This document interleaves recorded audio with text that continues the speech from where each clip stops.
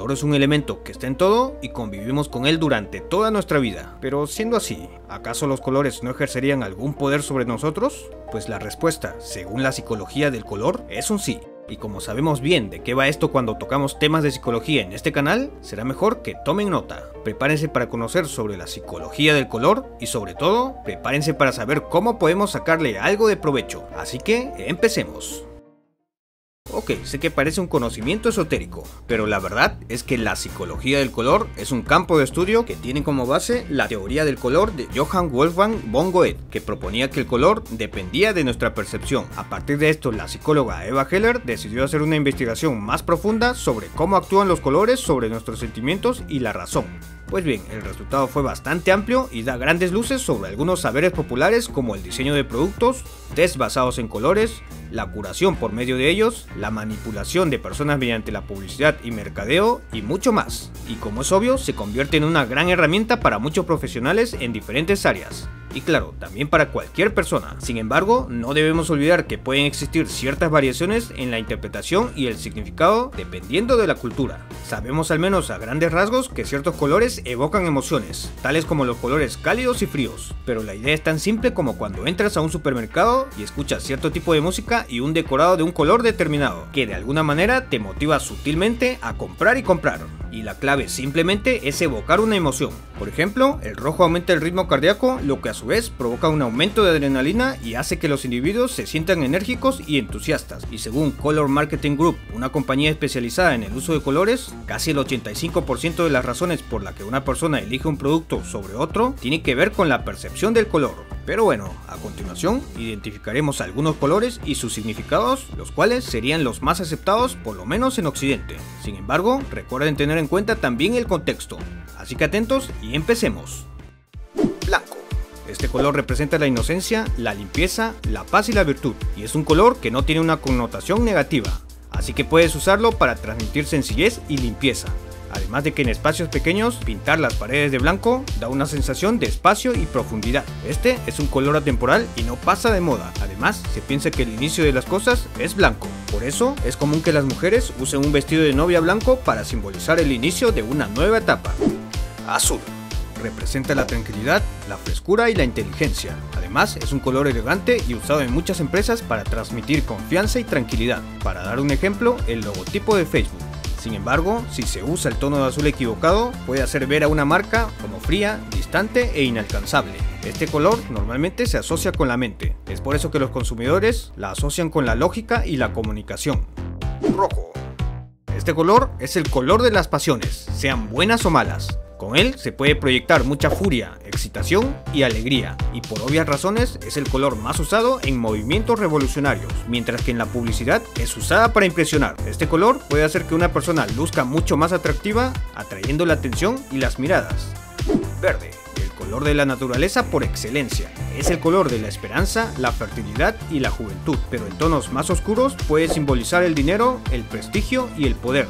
Es un color que se puede usar para expresar una conciencia ambiental, pero negativamente se le puede asociar también con el veneno, con los monstruos y con la ira. No por nada, Hulk es verde. En la publicidad es usada por Starbucks para proyectar el cuidado por la naturaleza, mientras que algunas cerveceras la usan para proyectar frescura morado. Este color representa la elegancia y la sofisticación.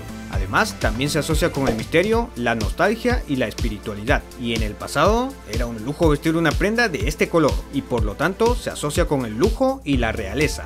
Algunas marcas la usaron para proyectar la fantasía y magia, mientras otras lo lujoso y elegante. Rosa. Este color se asocia con la dulzura, la amabilidad, la ternura, el romance, la suavidad y la seducción, y normalmente se le reconoce como un color femenino. Por un lado, empresas como Victoria's Secret la usan para explotar esa feminidad y las organizaciones benéficas relacionadas con el cáncer de mama también usan este color. Naranja. Este es el color de la diversión, de lo exótico y de lo poco común. Es un color claramente incitante y extrovertido, llama mucho la atención y se asocia con la calidez. Sin embargo, existe la vieja percepción de que el naranja es barato o de bajo presupuesto, aunque esto está cambiando, tomando el significado de lo amigable, exótico, intenso y llamativo. La mayoría de las marcas que lo utilizan intentan proyectarse amigables, divertidos y alegres. Algunos establecimientos de comida rápida la usan para atraer la atención y estimular el apetito. Sin embargo, después de un rato puede volverse molesto y hacer que las personas quieran irse. Y creo que cumple su objetivo para un servicio de comida rápida, ¿no? Amarillo. Este color por un lado simboliza la energía, alegría, iluminación, optimismo y diversión, y por el otro simboliza la envidia, celos, incertidumbre y quietud.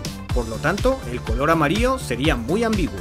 Además, así como el naranja, la excesiva presencia de amarillo puede llegar a irritar a una persona. Las marcas suelen usarla para proyectar alegría, optimismo y amistad, además de ser un color bastante llamativo que contrasta muy fácilmente. Negro. Este color representa el poder y también la muerte, aunque en el mundo de la moda es el color de la elegancia, la formalidad y la sobriedad. Este color puede proyectar la objetividad y la funcionalidad, además es uno de los colores favoritos en el mundo de la moda. Y así como el morado puede ser visto como un color lujoso y muchas empresas la usan para proyectar seriedad y seguridad. Además que puede hacer lucir a una persona más delgada. Gris. Este color tiene distintas connotaciones según la cultura. En algunos casos puede ser interpretado como la indeterminación o la mediocridad, pero según los expertos significaría la paz, la tenacidad y la tranquilidad. Marrón. Es asociado al chocolate, la tierra, la madera o el otoño. Este expresa la confortabilidad, humildad y equilibrio. Muchos lo asocian a la experiencia, lo acogedor y anticuado, y ha sido uno de los colores más rechazados desde la Edad Media, aunque es usado ampliamente en la moda. Además, según la psicología del color, este causaría lástima o compasión. Así que ya saben. Muy bien, ahora ya tienes toda una paleta de colores para ser usada oportunamente. Depende de ti dónde, cómo y cuándo usarás este conocimiento. Ahora me interesa mucho saber tu opinión. ¿Crees que realmente los colores pueden influir en nuestras decisiones o que puedan evocar emociones? Usa la caja de comentarios. Y de paso, cuéntame cuál es tu color favorito. No olvides seguirme en mis redes para estar siempre atento a mis publicaciones y si te gustó este video, dale like y compártelo. De igual manera, suscríbete y dale click a la campana de notificaciones para no perderte de nada. Saludos para Heiner Elizondo, Nekitarin Amakura, Noé Borda y José Arevalo. Gracias por escucharme y nos vemos hasta un próximo video. Hasta pronto.